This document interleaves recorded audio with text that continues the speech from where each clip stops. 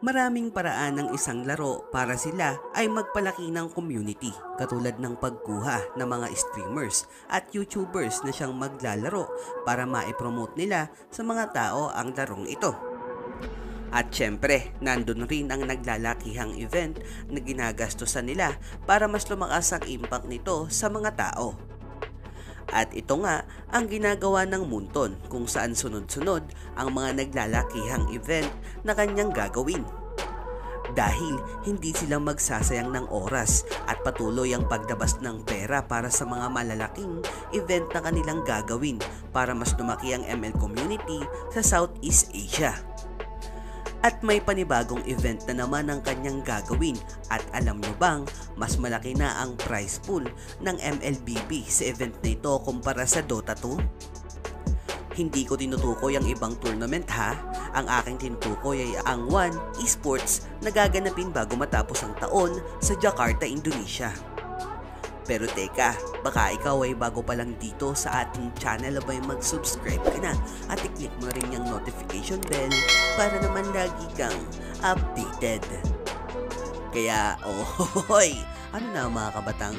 Nandito naman nga pala ang inyong Batanggenyong gamer na si Inspi at sa araw na ito ay ating pag-uusapan ang nalalapit na isa na namang malaking tournament ng larong MLBB na paglalaban-labanan ng iba't ibang naglalakasang team sa Southeast Asia. Kaya tara at atin ang simulan!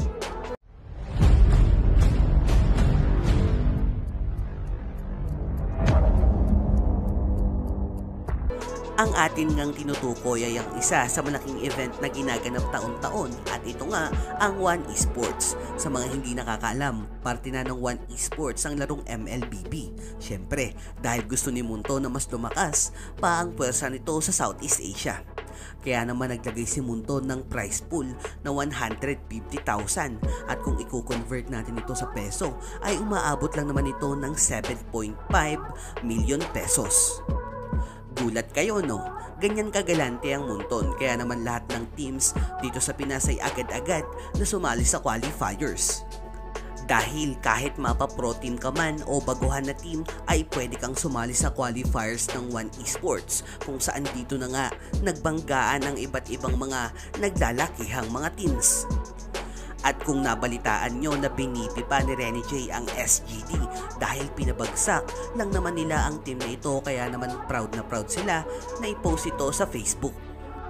Maraming naglalakas ang teams ang bumagsak agad sa qualifiers ng 1 Esports at ang walong nakapasok ay ang NXP Solid, NXP Area 51, NXP Chicks, U-Level, Execration, Signal Ultra, Kingpins at Goddess Militia.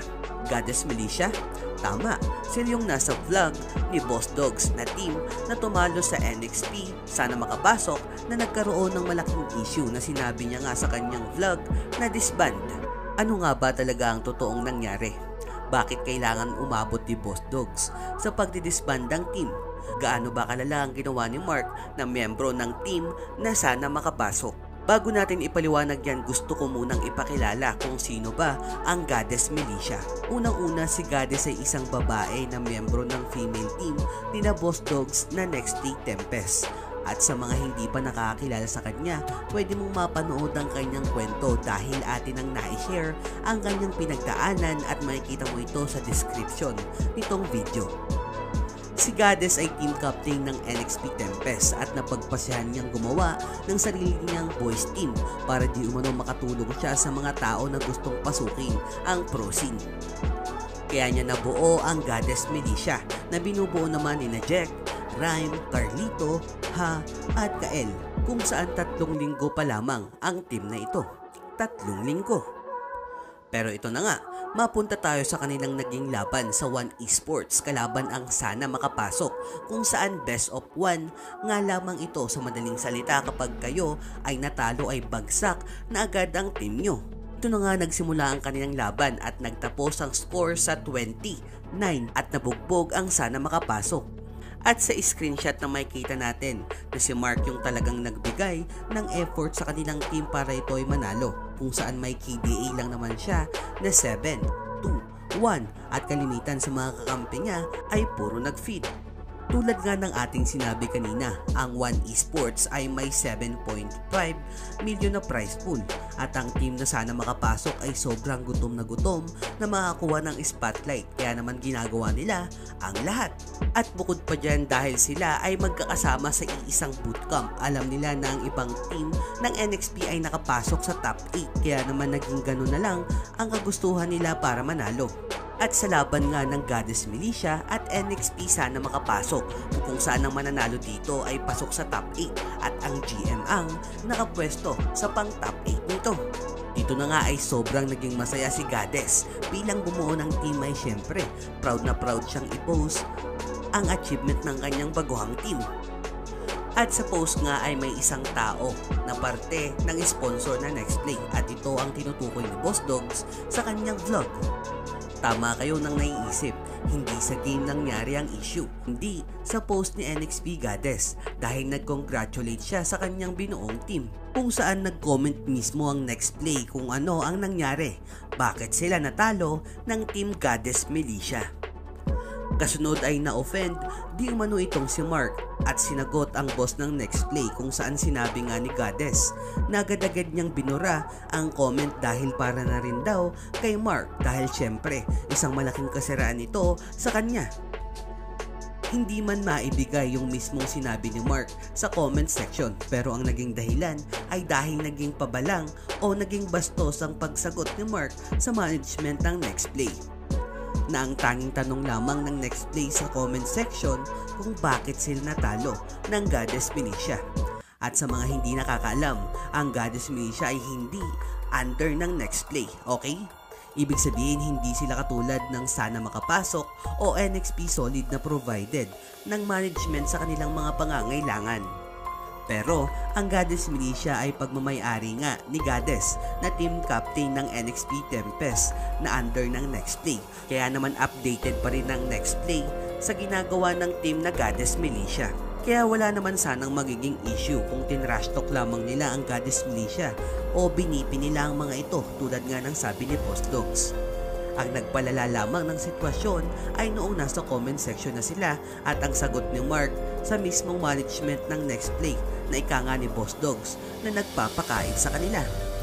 Pero matuloy tayo sa One Esports dahil sa dinami-dami ng teams na lumalaban para magrepresent ng Pilipinas ay ang Signal Ultra ang nabigyan ng pagkakataon para i-represent ang bansa laban sa mga naglalakasang team sa Southeast Asia kung saan nakalaban nga ng Signal Ultra ang NXP Solid at nagtapos ang score sa 3-1 na buong akala pa nga ng NXP ay sila na ang magre-represent ng Pilipinas. At sa mga hindi nakakalam, direct invite ang EVOS Indu dahil silang nanalo sa M1 World Championship. Kaya naman rekta silang maglalaro sa One Esports. At kasunod nito ang One Esports ay gaganapin dapat sa Singapore. Ngunit dahil nga sa pandemic ay nakancel ito at inilipat ng Munton sa Jakarta, Indonesia. Kaya naman i-announce ni Munton kung kailan lilipad ang Signal Ultra para lumaban sa mga naglalakasang teams sa iba't ibang bansa at maiba naman tayo ang MPL Playoffs ay magsisimula kung saan naiwan lang naman ang walong team na maglalaban-laban. Unang-una na nga rito ang nasa upper bracket na Bren Esports, Execration, Sun Sparks at ang Onyx PH. Samantalang sa lower bracket naman ay ang U-Level, SGD Omega, BSB at Blacklist International. At sa mga hindi nakakalam, noong nakaraang MPL Season 4 ay nasa lower bracket rin ang Onyx PH. Pero sila ay nagtagumpay na makaangat pa at makapaglaro pa mismo sa Grand Finals. Kaya ang tanong nga ng marami, sino kaya sa walong team na ito ang makakapag-uwi ng tropeyo ng MPL Season 5? At ano-ano na naman kaya ang meta na ilalabas ng iba't ibang mga teams? Kaya naman dito na gustong itanong sa aking mga solid na kabatang dyan, sino sa tingin nyo ang magkakampiyon sa MPL Season 5? Magkomento ka naman dyan sa ibaba at pangakong pupusuan ko yan. Kaya ba ng Signal Ultra na makipagsabayan sa mga naglalakihang teams sa Southeast Asia? Ano ang inyong palagay? Dahil sa tingin ko ay hanggang dito na lang muna ang ating kwento tungkol sa dahilan ng pagkakadisband ni Boss Dog sa kanyang binuong team. Hanggang sa muli. Ito nga pala ulit ang inyong Batangganyong gamer na si Inspi na nagsasabing may mga pagkakataon na talagang matatalo ka Pero imbis na magalit o gumawa ng hindi maganda, ay gawin mo na lang aral ito para sa mga susunod mo pang mga laban. Yun lamang po at maraming salamat. Stay at home at parating mag-ingat. Mahal na mahal ko kayo.